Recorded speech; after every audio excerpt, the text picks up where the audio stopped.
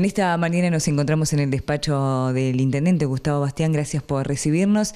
Y Gustavo, una novedad importante en cuanto a esta obra que es la ex Ruta 26, se van a comenzar con los trabajos y bueno, ¿qué nos puede contar al respecto?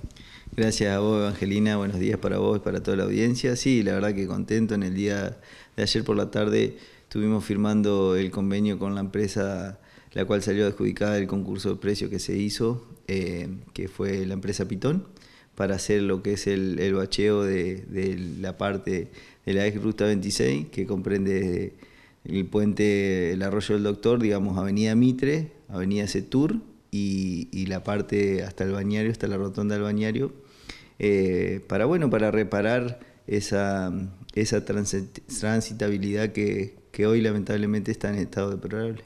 Bien, en este caso ya se sabe cuándo estarían comenzando las obras. Sí, la semana que viene, alrededor de, del lunes o martes, ya, ya están trayendo las máquinas y el compromiso era para mediados de semana empezar ya con eso. Se va, se va a comenzar por los lugares más críticos, digamos, frente a la IPF, enfrente ahí a lo que es eh, las motos COFI y después enfrente al cementerio, que son los baches más grandes que se necesita una fresadora mucho más grande y, bueno, después arrancaríamos sí, del arroyo del doctor, todo, digamos, Mitre, Setur y, la Ruta 26. Bien, entonces la gente también estará alerta porque seguramente va a haber algún cambio en cuanto a la circulación. Sí, sí, sin duda. Eh, vamos a estar colaborando junto con la empresa con inspección de tránsito, así que vamos a estar desviando por, por algunas calles alternativas para, para esos días que, se estén en obra, pero, pero contento porque es algo que después de mucho tiempo se, se le, puede, se le vuelve a echar mano a esa, a esa vía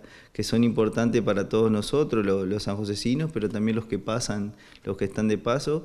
Y sumado a eso también está el compromiso que hizo el gobernador y, la la encargada de vialidad, Alicia Benítez, de vialidad provincial, de bueno, de la semana que viene poder firmar el levantamiento de la obra de la 26 que comprende desde el arroyo del Doctor hacia eh, la ruta 14, digamos la zona del Perucho, esa que fue parada por cuestiones económicas, así que eh, contento.